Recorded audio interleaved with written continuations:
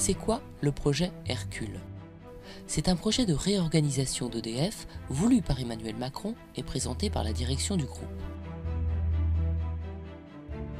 Il est décrit comme une solution pour qu'EDF puisse faire face à sa dette et finance ses investissements pour la production nucléaire et renouvelable, le stockage et le développement du véhicule électrique.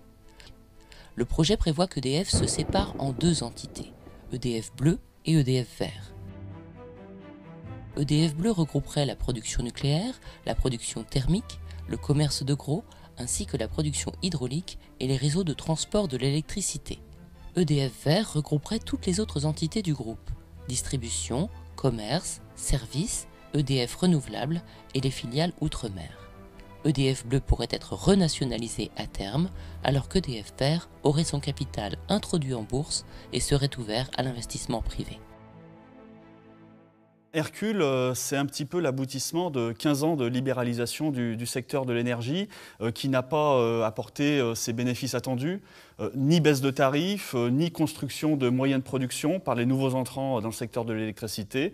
Et donc Hercule vise à ouvrir une nouvelle phase avec la désintégration de l'entreprise EDF. Désintégration, ça signifie euh, finalement couper l'entreprise en deux morceaux. D'un côté, les activités de production euh, nucléaire et thermique et peut-être de l'hydraulique, et euh, de l'autre côté, de créer une grosse société dans laquelle on mettrait Enedis, EDF e Renouvelable, Dalkia, la direction commerce d'EDF et la DSEI, c'est-à-dire EDF en Outre-mer.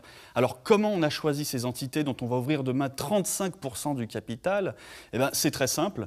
Les activités d'Enedis, c'est du régulé, c'est des revenus garantis euh, fixés par la Commission de régulation de l'énergie.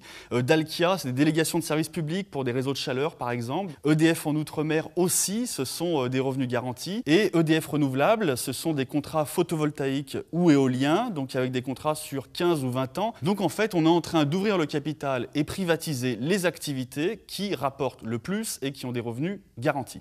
Étape nouvelle aussi dans la dérégulation, puisque EDF euh, n'aura plus le droit d'être à la fois producteur et commercialisateur de sa propre électricité, un peu comme le boulanger qui n'aurait plus le droit de fabriquer son pain euh, dans l'arrière-boutique et ensuite euh, le vendre en vitrine.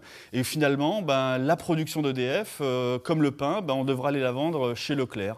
L'avenir de certaines entités qui sont aujourd'hui au sein d'EDF n'est toujours pas garanti.